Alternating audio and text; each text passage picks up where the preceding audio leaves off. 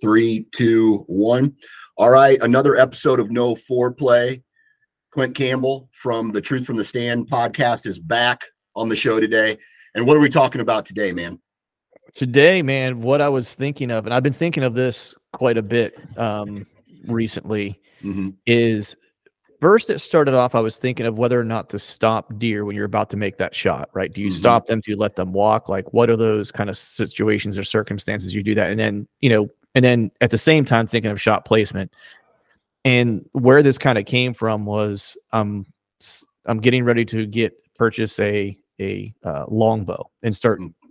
not forcing myself but legitimately making that transition from a compound to traditional equipment and you know we'll right. see how quickly that transition happens and that's really what got me kind of thinking about it because this past year both you know bucks that i shot i shot through the shoulder you know and one was a you know a 10 ring one a, a heart shot through the shoulder and then the other one was that one in kansas that it went through both shoulders and it just started make me made me stop and think like making this transition specifically because i want to sh- i want to kill a buck on the ground in the plain states with traditional equipment it's kind of the right. reason why but that hunt specifically made me start to kind of think just about my shot placement there because it was, you know, I couldn't have shot that buck any better, but it was through both shoulders. And knowing that I have a shorter draw length, moving to traditional equipment, not quite as much ass behind it, made me start to think about I might need to start thinking about my placement a little bit differently.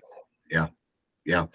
Yeah. Great topic. Shot placement. Um let, us just let's just continue the the gear or the the method in which we are trying to harvest these deer.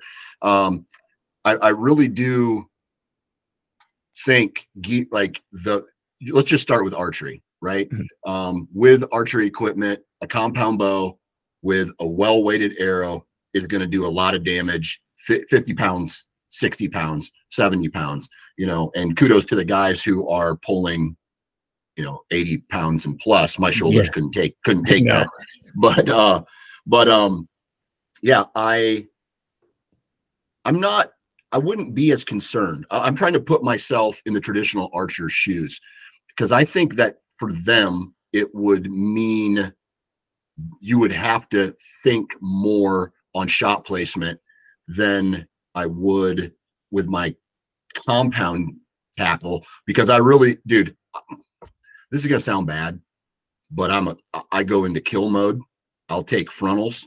I'll take hard quartering. I'll take uh, hard quartering towards. You know, uh, never, never in the or you know, right straight away. But if a deer is within shooting range, especially if it's inside 15 yards, more than likely it's getting an arrow. I mean, it mm-hmm. would have to be in some thick stuff, and it somehow made its way into me without walking away uh, in walking away from me straight on, where the only option would be like the back of the head or in the neck, right? right? I've also taken a shot where the deer is coming out of a creek bed and it was walking up the opposite side hill at 30 yards. And so you could see its, I mean, its spine went right down the middle. And I took a shot at that because he was vertical, right? Mm-hmm. It was mm-hmm. almost like he was standing on his hind legs, but he was up. So he was he was walking away from me, but all of his vitals were still right there, right? Mm-hmm. And so he stopped, he turned his head, he looked, and uh, I hit a branch. So mm-hmm. I I don't know whether or not it would have been a good shot. I hit a branch, the arrow went sailing. Um, let's kind of walk through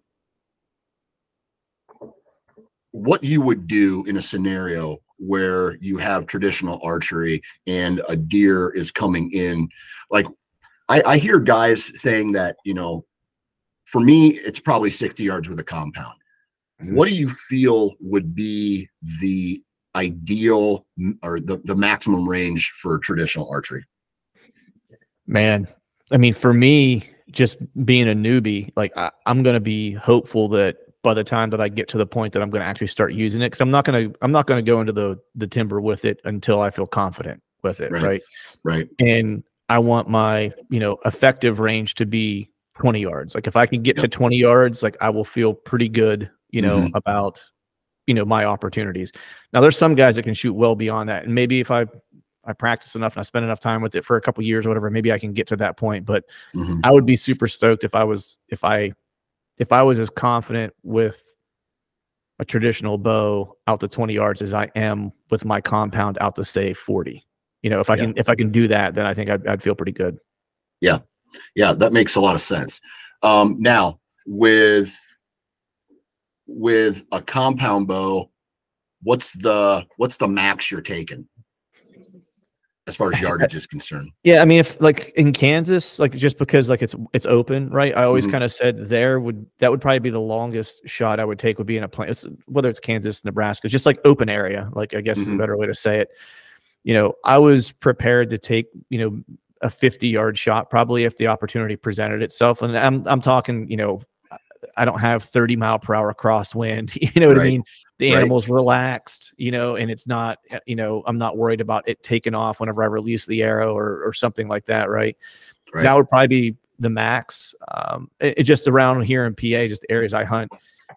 I don't think I've ever shot a deer in this area or in PA that was any further than 20 yards away. I don't think. Yeah. Um, just based on how thick a lot of the places are that I, that I that I hunt. So that there's just to kind of frame, you know, how what my distances are based on a uh, based on the terrain. Yeah.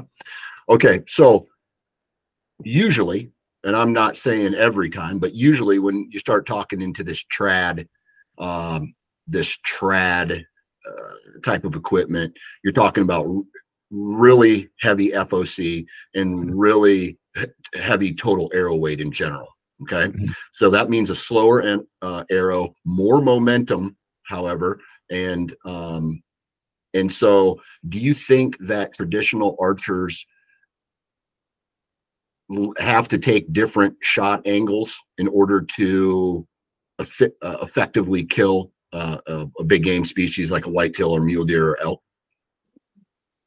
I don't know about shot angle, but I definitely think they have to like you you got to be pretty good with your gapping, right? Or like Mhm. just understanding like the flight of your arrow. And there's a bunch of different ways to shoot, you know, whether you're, you know, whether you're aiming or whether you shoot, you know, uh more instinctively or or whatever Mhm. the case is.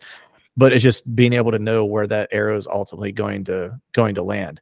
I think for me, like when we start talking shot angles, like and just in talking to a buddy of mine last night, we were kind of chopping it up about it he was actually saying one of the hardest ways for someone moving from compound to traditional one of the most challenging things to do is to actually use it in a saddle one just Mhm. especially that you know offside or a weak side shot but two from an elevated setup when they get really close you know Mhm. he's like the mistake that a lot of people will make is they constantly practice that 20 yard shot he's like that's actually like the easiest shot you're going to get with traditional equipment you know because it's just it's longer a little bit more to deal with in the in the tree he's like the tough shot is is that they get you know 10 yards and in and they're right on top of you even with a compound like that's a tough shot because it's such a high angle or whatever Mhm. right?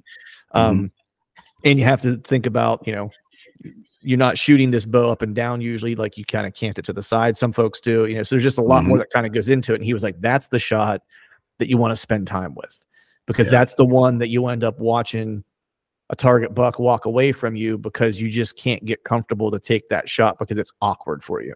Right. you know? And so i think you definitely have to take it into consideration. I think what would probably where i would probably i don't want to say stumble but what i think will be challenging for me is just knowing when i have a good shot presented right? Because now to your point earlier like with my compound like man i feel as long as i can see something that will kill it i feel pretty good that i can that i can make that shot you know Yeah. um and then that you know and that for me at least this isn't for everybody like Yeah. i'm sure there's guys out there that are super like way more confident in their traditional equipment than than i probably ever will be um but i'm looking more for that like classic like man i want to see yeah i want to see lungs i want to try to get double lungs you know just it would make me feel a lot more comfortable and it's probably part of it is just you know being new and having a learning curve to to get confident and know what my equipment can do and what it what it can't do Right, right. All right, so that's the trad side of things. Um, Right. Let's talk a little bit about um, the the compound. Right, you got your compound in the tree. Is there any shot that you won't take? First of Mm. first of all, I think what you were saying earlier, just the one that I absolutely won't take is like when they're facing away from me. You know, I've, I mean, I'm not telling any tales out of school here. I mean, I think we all love that that slightly quartering away shot, right? That gets mm-hmm. your head their head away from you a little bit, gives you an opportunity to draw potentially, right? And then you stick it in that back rib and you basically take everything with it. You know, that's yep. like the the money shot. Yep. You know, I, the only one that I'm always hesitant to is the is the frontal. Like I've never taken a frontal shot. I've never been presented a shot on an animal that I wanted to kill. That that was the only shot. The only shot that it gave me. You know, um, and this year, you know, gave me a lot of confidence just in my setup that I have to be able to take, you know, tough shots. You know, where it's right. like I'm dealing with shoulder bone and stuff like that. And I think it also depends on the the critter you're chasing. Now with my draw length and stuff like that, I would not take the shot that I took on the the whitetail in Kansas if it were an elk. I'll put it that way, right? Yeah. I just wouldn't be confident that I have enough ass in my setup, you know, to yeah. to get the job done there. Um, but on whitetails, you know, other than the frontal, and even that one, like I feel like if it was close enough range, I feel like I I feel like I would stick it in the inside of that pocket and let it rip. Yeah. I've had uh, my 2021 buck was the perfect frontal shot. Uh, buried it. I didn't hit his heart, and I didn't hit any lungs. Believe it or not, I hit right in the middle where the heart, all those arteries and valves um, connect to the lung, and it went right in there. Just Swiss cheesed it. Mm-hmm. And when I was gutting the deer, the heart pretty much just rolled out without me having to pull it. It was it was a beautiful thing. Right. And it hopped, it did a bounce bounce fall over dead, right? And so but that was at 10 yards. Right. Am I taking a frontal at 30? No, absolutely not. Right. 20 if he's if he's calm, maybe. If his head's up, maybe he's at uh, I don't know, a scenario would be he's at a licking branch or something. Mm-hmm. But here's one thing that I've noticed, and I think a lot of how you shoot deer depends on how you set up in the timber on like on in, within the terrain. Hear me out once, and I want to hear your thoughts on this. Mm-hmm. I hear guys talk about setting up away from trails. Like, okay, well, here's a scrape. I want to set up away from it. Or here is a, a main trail on this terrain feature. So I want to set up on the downwind side away from it and hopefully catch them coming in broadside. I don't like I I personally don't do that. I set up on the trail. I set up as close to where I think the deer is going to be as humanly possible. And so I think that actually has a lot to do with how I've taught myself to shoot deer with a frontal or a quartering towards, or maybe even a maybe it it sneaks through one shooting lane. I wasn't prepared for it, and now he's still close, but he's quartering quartering towards, or I'm shooting down at him instead of, uh, uh, you know, completely broadside. Like this year, this year was strange. This year, my buck was at 20, 25 ish yards, double lunged him, watched him fall over dead. Um, but every other deer, for the most part, that I've had has been inside 25 yards has been extremely close to me, and I've I've I have not taken that that uh, typical broadside shot on these deer. Mm-hmm. Right, I'm killing them with liver shots, quartering into backside lung, um, or even hitting forward on that same angle, hitting front uh, front side lung, and maybe coming out the neck and hitting uh, an artery in the neck, bleeding to death. Um, I have found back in uh, in my day, dude, you shoot a deer in the lungs, they're going to kick and they're going to run as fast as they can. You hit a deer in the liver, they're going to hunch and they're going to walk slowly away, right? Hmm. And so I've I've I've had deer react to uh, getting shot in the liver by falling over and dying in like I don't know 40 seconds. I've had double lungs fall over dead in 40 seconds. I got to tell this story. My stepdad, oh man, this was a long time ago. We were both sitting in the same fence line. He double lunged a buck and we tracked it for one mile. Hmm. Super soaker blood trail. I mean, mm-hmm. it was it was like someone was dumping pop out of it, and it took it that long to die. Crazy, one of a right. one a one of one type uh, story. And so, when it comes to where you're aiming, or, or do you think where you set up and how you set up in a terrain feature or within that landscape plays a, a role in how what what shot you are willing to take? Yeah, I, I think it totally does because I set up differently depending on what's around me essentially right mm-hmm. so if i can have it the way i absolutely want it is i want to set up to where i'm always taking like if i'm in my saddle it's like i'm always taking a strong side shot so i'm always shooting mm-hmm. off the off to my left and it's just you know classic deer hunting 101 is that i want to set up to where there's something behind me or to my right that where deer can't get to that side of me so i'm forcing the deer right. To come to where i kind of you know want them to but without that even if there's if it's an area that I can see well. Like so just mm-hmm. just use a destination spot because I like to hunt scrapes, right? So let's just use a scrape as an example, like a community scrape. If I can see around that scrape, let's just say 15 yards in like any direction around that scrape, then I'm gonna hunt probably on top the scrape and I'm probably gonna plan to shoot the deer before it ever gets there.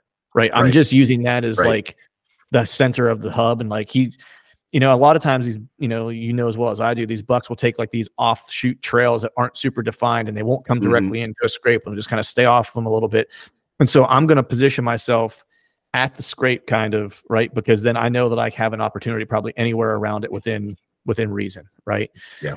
If it's an area that I that there's not a lot of room around it, then I'm likely going to set up off of it because that one spot is probably the only opportunity that I'll have in terms of like a clear shot opportunity. And yeah. so then I want the space between me and them. So that way I have a little bit, you know, better opportunity to draw, stay concealed a little bit better, and to have just a little bit better of an angle for for the shot. Yeah. Right. And so those are kind of the two ways I think of, especially if I'm setting up on a destination spot. You know, if I can see around me, yeah. then I have a lot of opportunities. And then I want to be on the spot because I want all the opportunities. If I can't see around me very well, then I want to be off the spot because that spot is probably going to be the the one or two the one of two places maybe that I'm going to have a shot opportunity. Right, right. Let's say a deer standing 20 yards broadside, you have your compound. Are you the kind of guy who's going to tuck it right in behind the shoulder or are you giving yourself a little room for error? So this is uh, it's, it's funny you asked this question because this is literally one of the things I was thinking about as I've been kind of thinking about making that you know tr- tr- uh, transition mm-hmm. to traditional. I'm a tuck it in the pocket kind of guy. Like I hug the, okay. I hug the shoulder. Hence, yeah. you know, the last two bucks I shot, I I shot through shoulders. You know, mm-hmm. um, and it's because I'm not taking long shots either, and I'm pretty confident in my setup. Yeah. So if I hit shoulder bone, like I'm not too mm-hmm. worried about it. You know, I feel like yeah. I can I'll make it through it and and and I'll be fine. Yeah. I'm having to kind of, you know, I was literally thinking to myself last night after I got kind of, you know, done talking to my buddy. I was like, man, I was like, this year, whenever I'm practicing with that, I was like, I need to start making sure that I am, you know, focusing probably more on margin of error and going more center vital mass, mm-hmm. you know, and giving mm-hmm. myself mm-hmm. like two to three inches on the left, two to three inches on the right, you know, one, you know, two inches up, two inches down, you know, to be able to play with because I'm just probably not going to have the setup that's going to, you know, do what my current setup is doing. Yeah. Yeah, that makes sense, especially when you're a new, you know, new into trad. You know, like for me, I I used to be the guy who was like, oh, because everything I I had learned about archery was here's the heart, here's what you should aim for. And obviously, the heart is a smaller target than the lungs are. And so over the years, like I've missed, I've completely missed deer low because I I was aiming for the heart and everything that I had read up until a certain point was like deer are going to drop when they hear your bow go off. Mm-hmm. Well, if they don't drop or or they're really close and they drop afterwards, it doesn't matter, right? You you right. you miss, you missed. And so since then, since I I kind of you know I've had some liver shots and I know that uh, the liver is a deadly shot if you hit the liver solid, that deer will die. Mm-hmm. Right. and so and, he, and more than likely they're going to die very fairly quickly and because hmm. that the liver bleeds really bad you hit the lungs they're going to die. You hit the heart they're going to die. Um, and so i now knowing that i've seen and had having the experience with liver shots i've come off that shoulder probably four inches and i'm aiming for a double lung. But then i know if i miss like what you said if i miss four inches to the right there's still a chance i hit back lung or I hit liver. If I'm missing forward, I'm still in that shoulder pocket and I'm, mm-hmm. you know, front side lung, potentially hard if it's low. Yeah. Uh, and, and so I've also dealt with high shots too. And so in the past, I've, you know, like I've hit backstrap on, mm-hmm. uh, and several years ago, I hit a, a deer backstrap or I've actually hit a deer below the spine and it went through like it it went it must have went below the spine on this inch or whatever that is because usually the mm-hmm. lungs come right up into the i hit a deer there never found him and he yeah. came back the next year and so whatever uh, right I, I was baffled that i didn't kill that buck anyway yeah. um so that's why i i don't i don't shoot the pocket anymore i i mm-hmm. come mm-hmm. off of it knowing that I have a margin of error. There was one guy, I forget his name, but he always used to say, he says, shoot him in the middle, find him in the morning.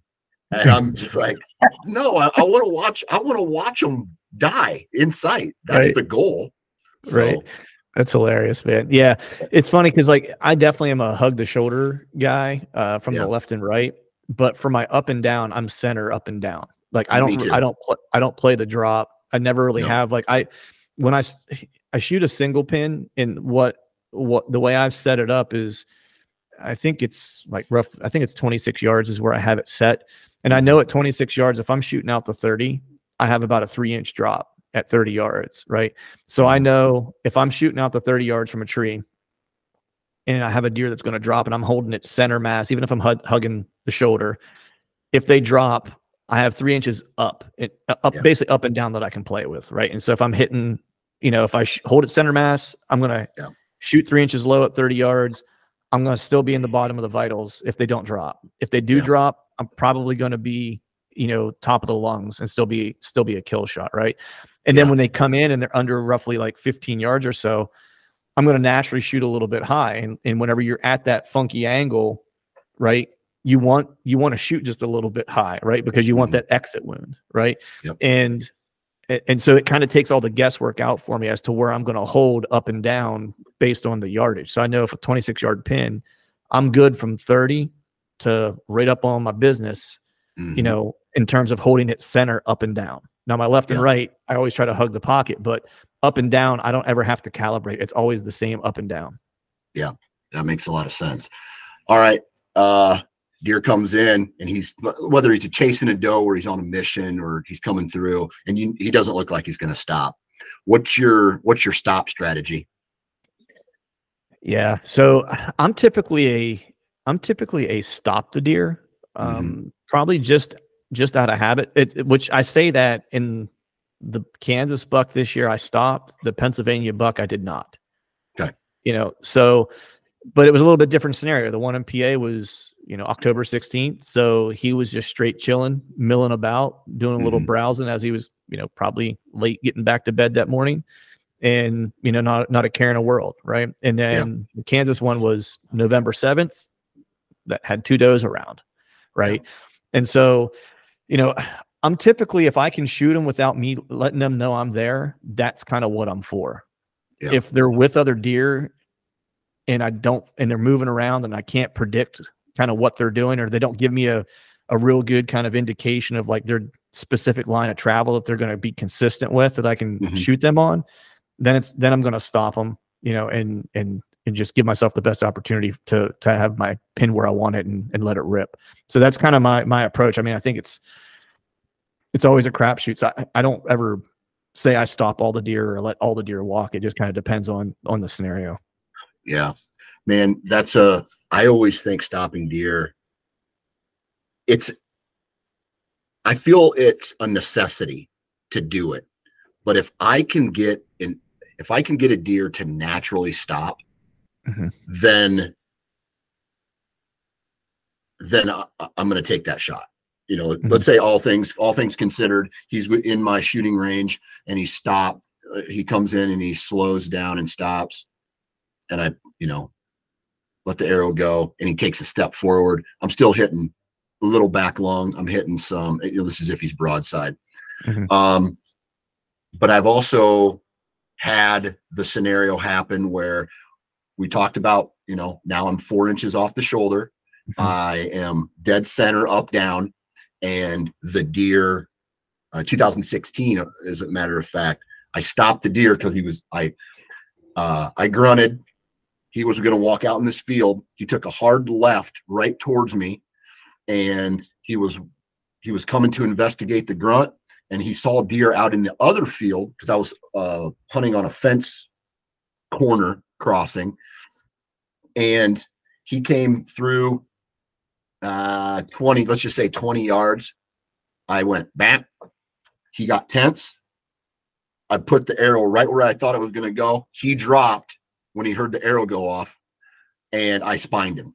Luckily, I spined him. He fell down. I put another arrow in him. It's over. But Right. but that was a scenario where if he would have dropped a little bit further, or if it was, let's say, 25, 30 yards and there was more reaction time, shit, that could have hit backstrap. It could have hit, I could have missed high on him. And I watching these studies, or if you go to YouTube and seeing how far a deer can actually drop, especially if they're usually the impressive ones are when their head is down Mhm. feeding. Yeah. That's if their head's up, then they they can't react as much, Mhm. which is which is something that is very important when watching uh, a deer's body language. It's very important. Are they spooked or are they just curious? Right? Yeah. Are they are they natural moving through? Um, did you just rattle? Are they coming in frantic, searching? Like a lot of, I feel a lot of that plays a, a role in whether or not you stop them. Yeah, hundred percent, man. I think it's you know time of year for me is is important as far as like whether or Mm-hmm. Not I think I'm going to have to stop a deer or whether I would be willing to or not. Right, and distance makes a big difference. So I said, you know, the one in PA, you know, I didn't stop. I I shot him walking. You know, and when I say walking, like he was barely walking. You know what I mean? Yep. But that shot was also 12 yards Mhm. right? So it's like even if he did take a step, chances of it being any more than like a half inch to an inch back from where I was holding my pin, not a, not a big deal, right? Yeah. You know, the one in Kansas, you know, 27 yards, you know, little little bit different. Like I probably even if you were walking slow and let's just say it was October and he was by himself, you know, mid-October and he was by himself, I'm probably still stopping him at that distance. Yeah. You know, but I like the element of surprise anytime I anytime I can get it. And that's one thing I've been kind of thinking about again with considering making that transition to traditional equipment, knowing that, man, I'm gonna go from shooting short draw length, right? So my I probably shoot 260 F, you know, feet per second is probably what my Mhm. my bow is roughly, Mhm. give or take. Yeah. Um, and I'm probably going to shoot like a 160 to 180 Yeah. with a traditional bow. You know what I mean? Depending Yeah. on the setup and and stuff like that, right? So, Yeah. you know, I have to. I'm starting to take all this stuff into consideration because I'm not going to. The game's changed. I mean, it's it, Yeah. it's a complete game changer. You know, like you got to relearn everything.